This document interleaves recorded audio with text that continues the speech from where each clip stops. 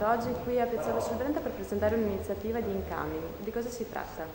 Ma si tratta di un, un progetto a regia regionale, eh, sarebbe quello di portare i buyers internazionali, in questo caso Messico, Canada e Stati Uniti, eh, in Veneto. Eh, perché abbiamo fatto questo tipo di operazione? Perché io sono convinto che eh, è bene promuovere i nostri prodotti all'estero attraverso l'esportazione, ma è importante far conoscere ai buyers internazionali anche il nostro territorio, quindi accompagnare l'alta qualità delle nostre produzioni con la visita del nostro territorio perché è costituito da ambiente eccezionale, paesaggio eccezionale e soprattutto un, turismo che è il primo in Italia, quindi accompagnare anche oltre alla grande produzione anche il valore immateriale che è dettato dalla nostra cultura.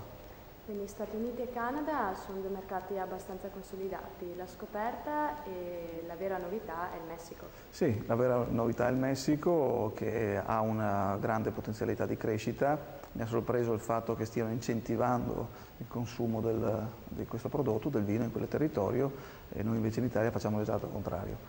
Credo che invece si debba riconoscere il vino per quello che è, che è un prodotto che consumato con moderazione è un prodotto eh, di altissima qualità e che in certi casi fa anche, fa anche bene.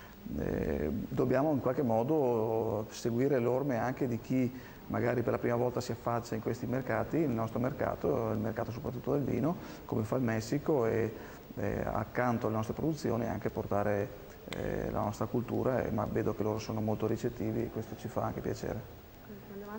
Eh, il Messico proprio ha sottolineato come il Veneto sia così piccolo ma che in realtà offre molto. Sì, beh, questa è, un'eccellenza un che eh, faremo difficoltà secondo me a farlo capire in, eh, fino in fondo perché la Regione Veneto è la prima regione turistica d'Italia, 65 milioni di presenze, ha le più grandi destinazioni che ci sono in Italia perché c'è il più grande fiume d'Italia, c'è Venezia, ci sono i Dolomiti, ci sono le, le città d'arte, c'è Verona con tutto il suo eh, con tutto il suo blasone, abbiamo talmente tante cose da offrire e con un'enogastronomia che fa la parte del leone e con la viticoltura che produce 11 milioni di quintali di, di uva all'anno, quindi prima in Italia, quindi stiamo concentrando in una piccola regione tutte le eccellenze possibili.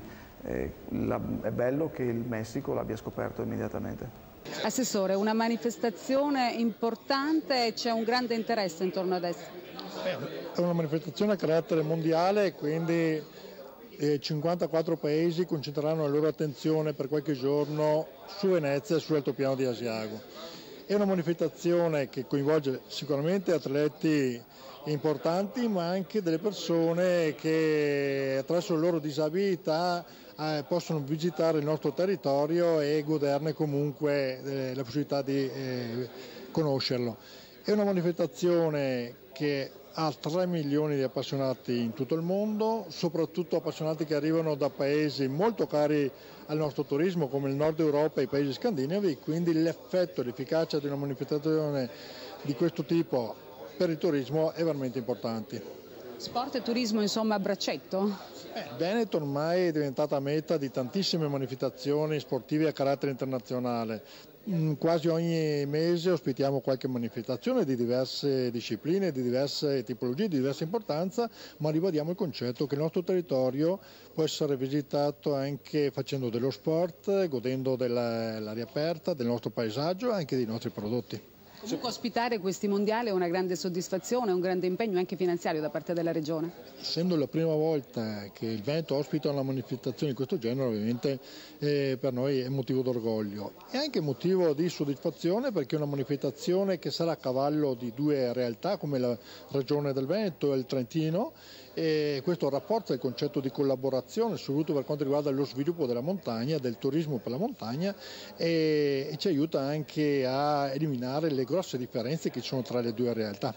Ma poi è significativo anche questo legame tra Venezia e la montagna? Eh, eh ormai è diventato must lo slogan dal mare alla montagna e attraverso Venezia, che è una città ovviamente conosciuta in tutto il mondo, cerchiamo di attrarre sul nostro territorio queste manifestazioni e poi ovviamente di diffonderle in tutta la realtà regionale e quindi Venezia mantiene questo ruolo di riferimento per il nostro turismo. Certo, vederli correre in mezzo ai turisti sarà da ridere. Eh? E anche questo sarà bella, un bel impegno da un punto di vista dell'orientamento proprio tra i turisti.